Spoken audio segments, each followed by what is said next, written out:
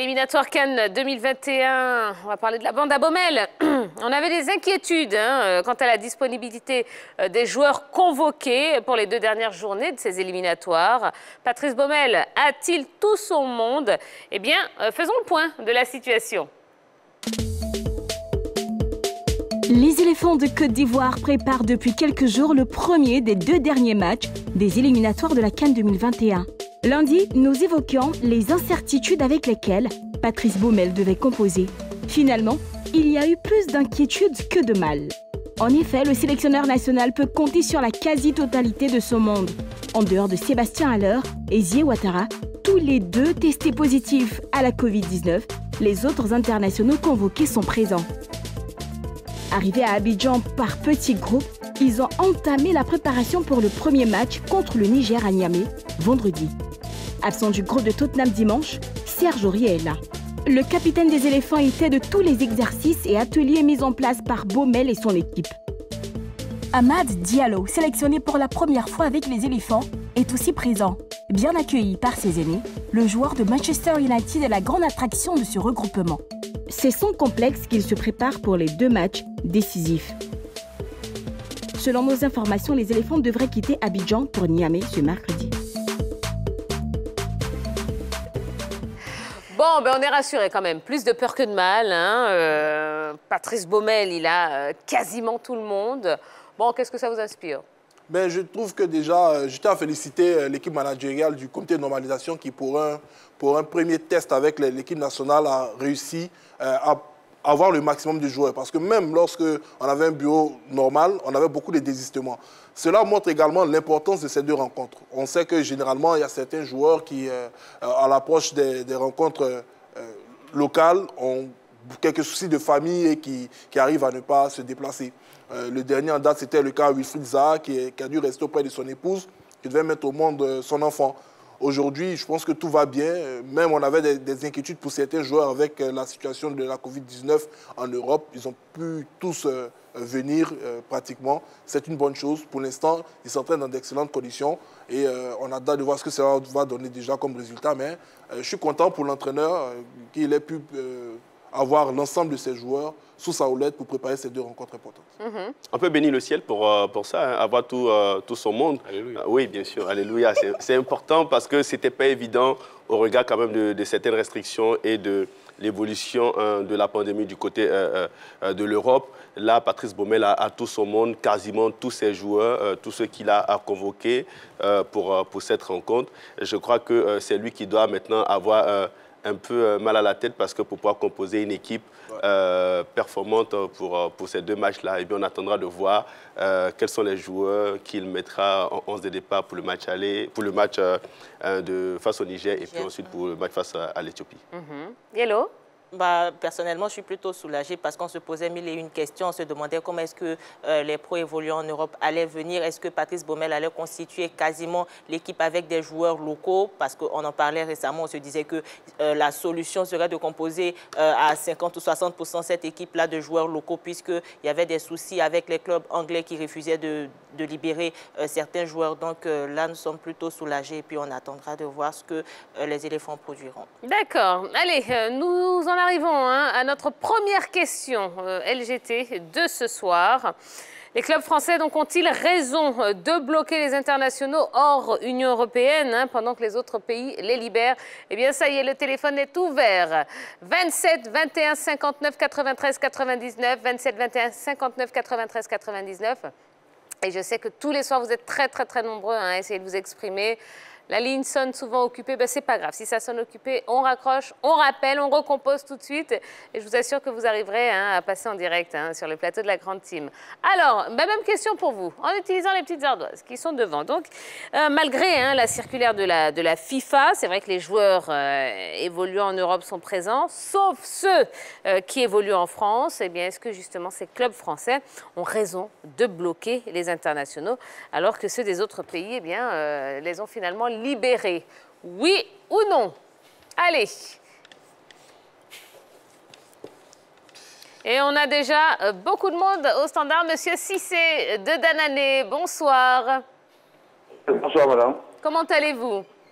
Oui, ça va. D'accord. Alors, monsieur Sissé, vous êtes notre première intervenante ce soir. Euh, est-ce que les clubs français, français pardon, ont raison hein, de bloquer les internationaux hors Union européenne? Sachant que les autres pays le font. J'aimerais dire qu'ils ont raison. D'accord, pourquoi? Ils ont raison parce que la FIFA, la FIFA a posé des conditions. La FIFA a posé des conditions. Et il y a des personnes de la fédération ivoirienne sont allées à, cette conférence. Mhm. Et ils ont, ils ont, lu, ils ont lu et ils ont approuvé. Il n'y a pas eu d'opposition. De, de, Donc, je pense qu'ils ont raison. Mhm. Parce que la, euh, la fédération de football devait d'abord mhm. d'abord s'imposer par rapport aux conditions là. Ils n'ont pas fait. Ils n'ont pas fait. Ils n'ont pas fait. Et maintenant, ça les rattrape. Et aujourd'hui, c'est les équipes africaines qui, qui, qui bloquent. D'accord. Ok. Bon, la liaison n'est pas très très bonne, mais bon, je suppose que vous avez compris hein, quand même l'essentiel des propos de M. Cissé. Merci beaucoup, hein, M. Cissé, pour votre appel. Donc, euh, mhm. Ok. Oui Vous voulez répondre? Allez, on va montrer les petites ardoises. Allez, continuez. Hein. Pendant ce temps-là, vous, continuez à nous appeler. Faites comme M. Cissé, 27 21 59 93 99. Bon, tout le monde dit non. Allez, on va commencer par euh, Henri Jo. Non, non, parce que déjà, moi, euh, mon avis sur, le sujet, c'est que les Français ont été mal inspirés dans un premier temps. Ils se sont précipités. C'est vrai, la FIFA a ouvert la possibilité pour les clubs de garder les joueurs au cas où, au retour, il fallait euh, une quarantaine de, 10 jours avant de rejoindre l'équipe professionnelle. Ben, il fallait attendre un peu, de voir un peu ce qui allait se passer. Et ils ont été mal inspirés, ils ont pris cette décision. Et derrière, ils ont pensé que les autres fédérations européennes allaient les suivre dans leur démarche. On se rappelle, ça a été la même situation lors du, de la crise sanitaire, où les Français ont été les premiers à, arrêter. leur championnat. Derrière, il y a eu des voix qui se sont levées euh, contre cette décision, malheureusement pour eux pour, ceux qui n'étaient pas d'accord, c'était déjà acté, donc il a fallu faire avec. Et aujourd'hui, ça a été la même situation. Ils se sont précipités, ils ont pris cette décision, pensant que les Anglais, les Italiens, les Espagnols et autres allaient les suivre dans leur démarche. Malheureusement, ça n'a pas été le cas pour eux, puisque derrière, les autres ont libéré leurs joueurs. Donc, à mon avis, ils ont été mal inspirés et ils ont voulu prendre les devants pour peut-être mener euh, euh, un combat qui, pour moi, n'avait pas lieu d'être. D'accord. Allez, direction Yopougon. Monsieur Meya est avec nous. Bonsoir, bonsoir. Bonsoir, bonsoir Bonsoir. Comment allez-vous, Monsieur Meya? Oh, je vais super bien. J'avoue que je suis un fan, un fan de vos musiques. Hein. Oh, c'est gentil. Donc, vous le voir très bientôt encore dans la musique. J'ai pris ma retraite, Monsieur Meya. Ah, ça c'est une information polémique. non, pas du tout. Bientôt, bientôt. Mais pour l'instant, on parle, on parle football, Monsieur Meya. Bon. Alors, qu'est-ce que vous en pensez? Est-ce que la France, euh, les clubs français hein, ont eu raison de ne pas libérer les joueurs, euh, les, internationaux hors Union européenne? Bon, je crois bien que les clubs français ont essayé de d'être un peu avant-gardistes parce qu'actuellement nous sommes en plein coronavirus mhm. et les joueurs venir euh, compétir pourraient peut-être être un frein pour eux puisqu'ils ont besoin de ces joueurs aussi pour, pour leur compétition aussi en Ligue 1 et en Ligue 2. Oui, mais... Aussi, mhm. ils ont pensé qu'en faisant ça, le, euh, le club anglais et autres championnats allaient les suivre aussi dans euh, cette euh, truc-là. Mais nous, ils ne savent pas. Mhm, mhm, donc voilà. Donc, donc, donc, pour vous, est-ce qu'ils ont eu raison de le faire ou, ou, ou, pas? Bon, avoir raison, je suis un peu S'ils ont raison, oui, ils, oui, ils ont raison parce que en libérant les joueurs venus, ça peut de jouer le championnat. Mhm. Donc là, je suis, d'accord avec eux. Donc vous comprenez ce qu'ils ont fait Oui. D'accord. Bon, eh bien, très bien. Merci en tout cas pour votre appel, Monsieur Meya. Passez une bonne, euh, une bonne soirée. Eh bien, continuez, hein. Continuez, exprimez-vous hein, dans cette émission. Et puis en plus, on aime bien quand, euh, quand les, avis sont partagés comme ça, euh, à base d'arguments, hein, évidemment. Euh, c'est très intéressant. Donc continuez, appelez-nous pour nous dire ce que vous en pensez. Euh, qui allait parler? Allez-y. Moi, je dis tout simplement, pour prendre ce genre de décision, il faut que cela soit factuel, basé sur des éléments probants. Euh, on a eu des fenêtres où des internationaux africains sont venus sur le continent et sont repartis dans leur pays. Aujourd'hui, c'est vrai, les voyages entre l'Afrique et l'Europe sont très réglementés. Donc, on n'a plus les, grands déplacements des populations. Mais quand on regarde sur les derniers regroupements sur le continent africain, Combien de joueurs africains sont retournés sur le sol européen contaminés à la Covid-19? L'Afrique est le continent le moins touché par cette pandémie. Et on doit tout simplement s'habituer à vivre avec ce virus et rentrer dans notre quotidien. On ne peut pas se permettre de prendre une telle décision empêchant les joueurs euh, d'origine africaine de rejoindre leur continent, qui est le continent le moins touché, et au même moment voir l'équipe nationale de France qui va aller jusqu'en Azerbaïdjan, qui à mon sens est beaucoup même plus loin que l'Afrique et qui est un pays qui est aussi touché par la Covid-19. Donc euh, je pense que les autres pays de l'Union européenne ont compris que dans cette situation, on ne pouvait pas priver tout un continent de, voir quand même leur star et puis de bénéficier également de tout simplement de ce beau spectacle. Mhm. Voilà, donc à mon sens, ils ont eu largement tort de prendre cette décision et ils ont été obligés de corriger cela en essayant de s'accommoder avec certaines fédérations pour leur dire, bon écoutez, si vous prenez des dispositions particulières pour permettre à vos joueurs de voyager à travers des dettes privées, ils peuvent effectuer les déplacements. Mhm. Donc euh, cela démontre que déjà à leur niveau, ils sont rendus compte de la décision hâtive qu'ils ont eu à prendre et qui n'était pas juste. D'accord. Euh, Monsieur Diomandé, bonsoir. Bonsoir, madame. Comment allez-vous Oui, ça va un peu. Bon, alors euh, sur le plateau, on parle de, mauvaise inspiration hein, pour les clubs français. On parle de précipitation aussi. Qu'est-ce que vous en pensez? Est-ce qu'ils est ont eu raison hein, de bloquer euh, les internationaux? Non, ils n'ont pas raison de bloquer les internationaux. Nous, on a besoin d'eux. Oui. Il s'agit de, de, défendre les drapeaux. Mhm. Sans le drapeau, ils n'ont rien. Mhm. Oui, c'est un contrat qui, qui est lui, mais quand nous, on a besoin de notre enfant, ils, ils ont le devoir de laisser notre enfant. Éloignez-vous de la télé, Monsieur Diomandé, ou éteignez le son de la télé, comme ça on va bien vous entendre. Oui, allô? Voilà, on vous entend, allez-y. Donc oui, nous on a besoin de nos enfants. On a besoin de nos enfants pour pouvoir défendre nos drapeaux. Oui. Il s'agit de pays, il ne s'agit pas de contrat. La France est le joueur. Mm Les Français n'ont pas raison. Mm Ils n'ont pas raison. Ce n'est pas, pas la, en Afrique qu'il y a plus de pandémie. Mm Les pandémies, même, ça est sujet là-bas que chez nous. Mhm. Le contraire, c'est nous, on doit réciter France pour dire que s'ils viennent ici, ils vont venir nous contaminer. Mais nous, on dit, à ça, on a besoin de eux. Mhm n'ont pas arrêté ça. Ils n'ont pas arrêté ça. Mhm, mhm. Non, non pas, moi, je ne suis, pas content de ne pas laisser nos enfants venir défendre le drapeau. Donc, vous pensez qu'il y a d'autres motivations derrière ça? Pardon? Vous pensez qu'il y a d'autres motivations derrière tout ça? Oui, il y a d'autres motivations derrière ça. Qui sont? Pas qu'ils vont, ils vont se faire la gendarmerie du monde. Mhm. Voilà. Les autres, les, autres, les autres, pays, ils ont laissé les autres joueurs, ce n'est pas eux. Les championnats les plus médiatisés au monde, ils ont laissé les joueurs. Ce n'est pas le championnat français qui ne peut pas laisser les joueurs. Mm Donc, je suis pas d'accord pour eux. Donc, les, tous les joueurs vont venir jouer. Euh, bon, le, message est passé, monsieur Diomandé. Allez, merci beaucoup pour votre intervention, en tout cas. Merci. Euh, oui, allez-y, Boris. Je pense que c'est vraiment une mauvaise décision qui a été arrêtée quand même par les clubs français. Ils doivent sûrement être un peu ridicules en ce moment précis. Euh, un peu tout honteux de de voir qu'ils euh, sont les seuls euh, à ne pas avoir libéré les joueurs euh, étrangers qui évoluent, euh, surtout les joueurs africains qui évoluent euh, dans le club français parce qu'en Angleterre, en Italie, en Allemagne et autres, les joueurs étaient libérés pour rejoindre leur, leur sélection. Ce qu'il faut savoir, c'est que c'est une date FIFA et on sait que quand on a une date FIFA, les, les, clubs ont obligation de libérer les joueurs pour venir participer aux compétitions.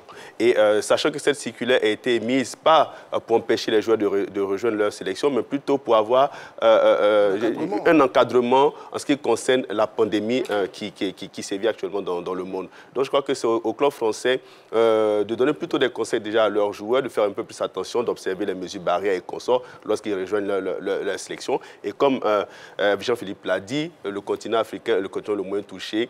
Et euh, quand nos joueurs ont évolué en mars dernier, euh, non pas en mars, plutôt en novembre euh, l'année dernière, on n'a vraiment pas eu de cas de, de, joueurs africains retournés en Europe qui avaient le virus. Donc je crois qu'aujourd'hui, c'est vraiment une mauvaise décision. Et je crois qu'il y avait même d'ailleurs une association française qui s'était insurgée, de footballeurs français, qui s'était insurgée contre cette, cette, cette, cette mesure-là. Et je crois qu'il faut véritablement, il ne faut plus recommencer ça du côté des clubs français. D'accord, allez, dernier intervenant. Hein, concernant cette question. Il s'agit de M. Tano qui nous appelle d'Abengourou. Bonsoir, M. Tano.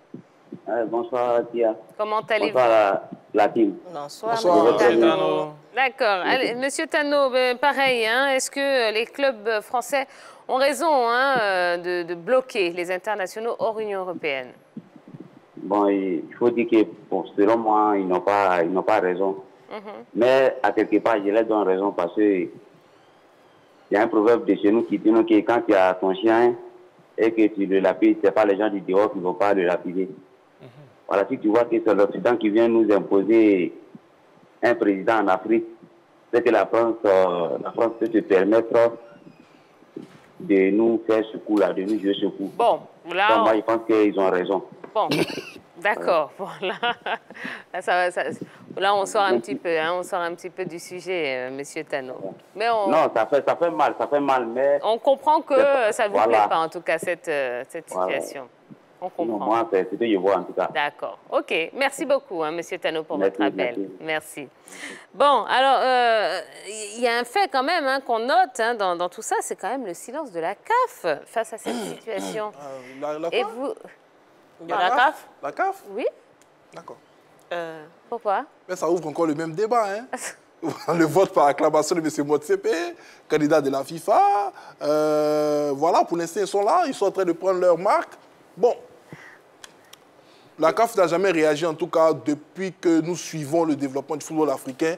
Elle n'a jamais réagi quand les joueurs africains évoluant sur le côté européen ont été sujets à, à- comment on appelle, à, à ce genre de problème. Des blocages. Voilà, donc euh, je serais surpris aujourd'hui que cela change, mais c'est mon plus grand souhait. Voilà, j'espère que aujourd'hui, avec l'arrivée de l'équipe de M. Motsepe, euh, M. euh, Senghor du Sénégal, qui est le premier vice-président, a vu sa sélection tellement touchée qu'aujourd'hui son, sélectionneur est obligé d'appeler 13 joueurs.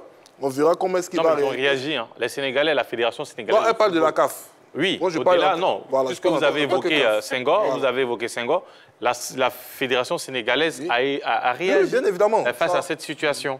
Qu'est-ce Voilà. en a des autres Mais on parle de la CAF Non, à un niveau non, beaucoup plus élevé. J'ai j'ai- j'ai- j'ai juste pris euh, l'exemple de la Fédération sénégalaise, puisque Senghor a été euh, cité quand vous étiez en train de parler. Donc, c'est pour cela que j'ai dit non. Au niveau du. Sénégal, Les Comoriens se sont plaints. Les Comoriens, Voilà. comme ça, qui sont à, il y, a des- il y a des fédérations à, je dirais qui ont qu'après 10 réagi. minutes de se qualifier pour la Coupe d'Afrique, euh, une participation historique, sont les plus touchés par cette décision. Ils se sont plaints. Mais on parle de l'instance dirigeante du football africain. Qu'est-ce qu'elle dit face à cette décision de la France? Voilà. Bon. Parce que Et si... elle, elle ne dit rien Voilà, c'est elle ne dit rien. Yellow, qu'est-ce que vous en pensez Ah, Certainement ce qu'elle n'a pas reçu l'information, sinon ça choque Ah, carrément Yellow. parce que M. Motsepe disait euh, récemment qu'il euh, prévoyait qu'une sélection africaine joue la Coupe du Monde et remporte la Coupe du Monde. Quand on voit ce genre de comporte ce genre de silence face à, à cette décision de la France, on se demande bien à quoi est occupé la CAF et M. Motsepe. Alors, moi, je, Vous avez 15 secondes pour parler C'est la FIFA qui a, qui a donné la possibilité au club de, bloquer les joueurs. Donc, quelque part, c'est une décision qui, à mon sens, euh, vient de là-haut. Donc, la CAF a suivi ce que la FIFA a, c'est dé- clair, a- décidé. c'est clair qu'elle Donc, voilà, non, mais quand vous dites que la, la CAF n'a pas réagi, c'est une décision qui est venue de la la FIFA. Et les Sud-Américains ont compris en déplaçant leurs différentes, euh, euh, cette journée-là à, à une date ultérieure. Mais est-ce que ce que vous dites est différent du constat qu'on fait? La CAF n'a pas réagi. Merci, Bien sûr, merci, mais puisque, puisque la FIFA a déjà ouvert, la FIFA a ouvert euh, le champ, donc la CAF est, est restée muette, puisque c'est une décision qui vient, qui vient de, De plus de plus haut. Donc, donc, la CAF c'est-à-dire n'a pas que les- réagi. C'est-à-dire que les autres fédérations européennes, elles, elles n'ont pas eu les mêmes tests que, que la fédération française. hein. C'est-à-dire qu'elles elles ne sont pas là pour respecter également les, Bon, les, et- les et- décisions de, de la FIFA. Allez, et juste pour apporter un peu d'eau à votre donc. moulin, euh, mon cher Jean-Philippe, c'est un petit peu logique quand c'est la FIFA qui a... qui C'est la FIFA qui a décidé. Vous, vous Non, non, non, non, FIFA, non, non, non. quand c'est la FIFA Qui a, qui a permis euh, qu'on ait qui a mis en place hein, le président de la cette, CAF. cette Donc, ce belle serait- acclamation. Ce serait aller un petit peu euh, à l'encontre de... De- de Bon, ce qui se passe. bref, allez, c'est bon. Merci beaucoup. Avant que ça déborde, parce que je Nous y que ça va reviendrons. déborder. Nous y On reviendrons ou pas, pas. tu lâches pas l'affaire. Allez, on va marquer une toute petite euh, pause. Oui, euh, dans un instant, eh bien, nous allons retrouver euh, notre invité de ce soir, Monsieur Christian Koulibaly, alias Coach Larry. Oui, l'entraîneur de la SOA Basketball, évidemment l'équipe masculine de basketball euh, qui a fait tomber euh, ABC Fighters euh, ce week-end. Il va venir tout nous dire. Comment ont-ils réussi hein, Quelle a été la, la, la, la, la- voilà, la- Recette magique. Hein, la recette magique, eh bien, euh, Coach Larry va tout nous dire dans quelques instants. Ne bougez pas.